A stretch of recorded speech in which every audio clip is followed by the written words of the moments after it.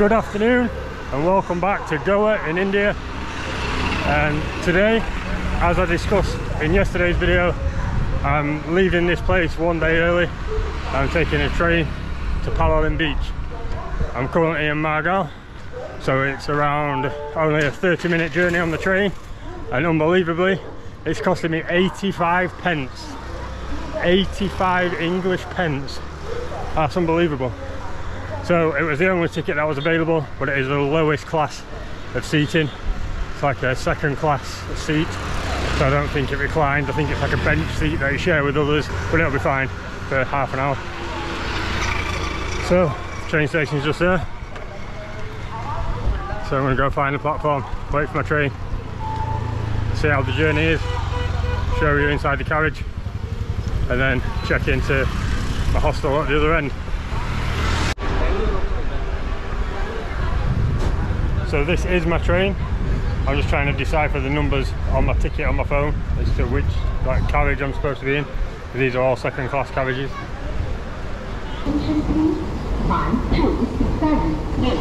So D1 that's that's on my ticket so that must be my carriage. It's seat 48 so we're getting on here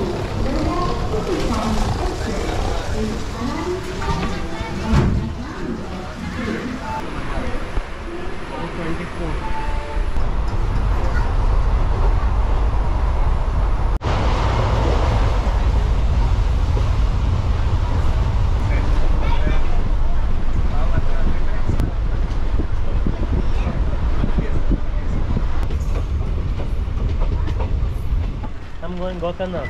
oh have a nice time Okay. goodbye Happy journey, brother. thank you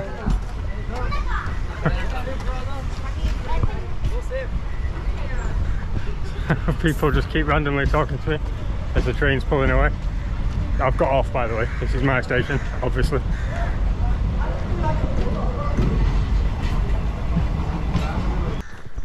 so I've arrived at Canacona station. Um, it's the closest station to get to Palolem beach which is where I'm going. Um, I was maybe expecting some form of taxi or tuk-tuk or something to be at the station but there's absolutely nothing here. It's about a 25 minute walk to my hostel a little bit on the far side considering I've got my bags and it is baking hot so if I get a chance of a tuk-tuk or something I think I might take it hello she was chatty hello so was her mate.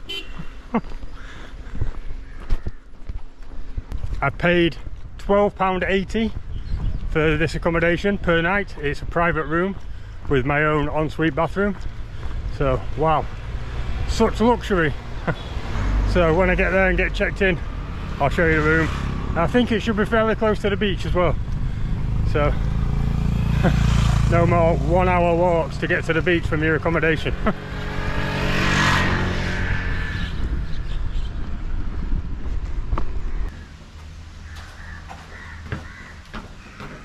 We'll go inside.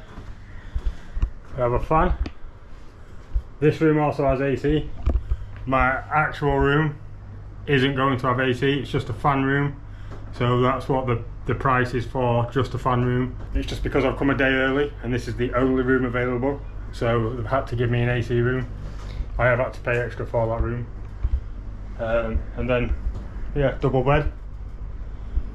And my own bathroom. So in here we have all the usual things. Sink, shower, toilet, tree. Everything you need in a bathroom really.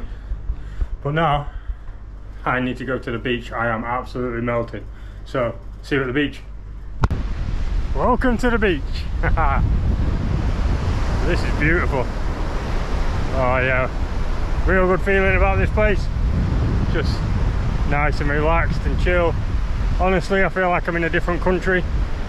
Just Goa is, is yeah, getting a thumbs up so far. Really liking it. Uh, the main street that I had to come down to get to my accommodation.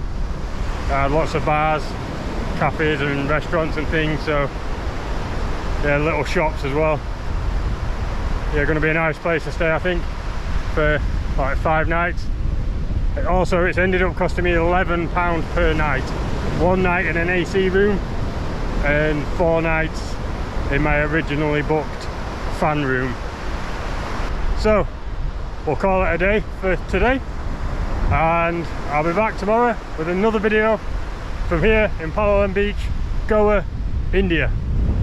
See ya!